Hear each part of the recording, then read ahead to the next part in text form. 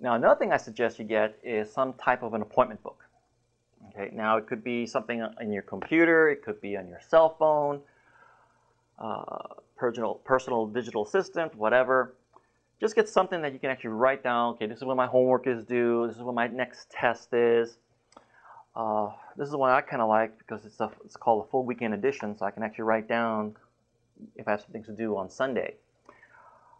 And uh, here's a suggestion: cut out the corner right here for the week. I get like a weekly uh, planner.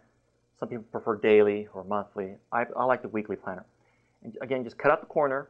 That way, if it's closed, you can just open up and go quickly, say, to the week you're interested in.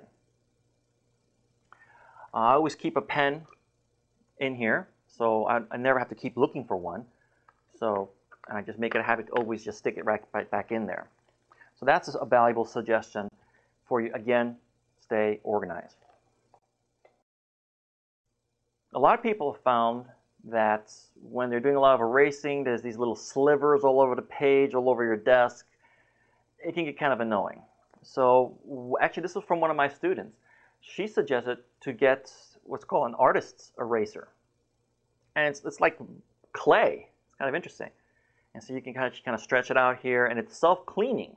That's the nice thing about it. So, and you can mold it to any shape you like. It's also rather therapeutic. Like, oh, I can't believe I have that much homework.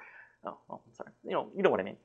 But you know, just put in a little kind of compact shape, and you can then just you know erase something, and it leaves almost no little slivers at all. And again, if it gets kind of dirty, you can just reshape it. So any artist supply store has these. So something to help you out. Get a little tip from the tutor here.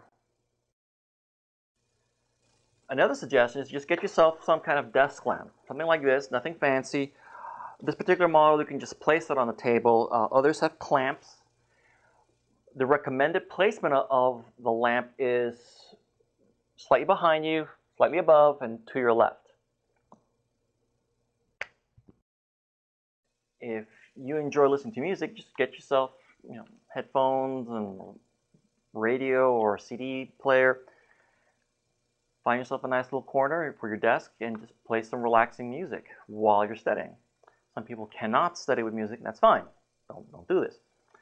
Uh, I don't recommend the TV, and here's a big tip. Try to stay as far away from your refrigerator as possible because after about maybe 15, 20 minutes of studying, it'll start calling your name, all right, and lure you to the refrigerator. We don't want that, okay?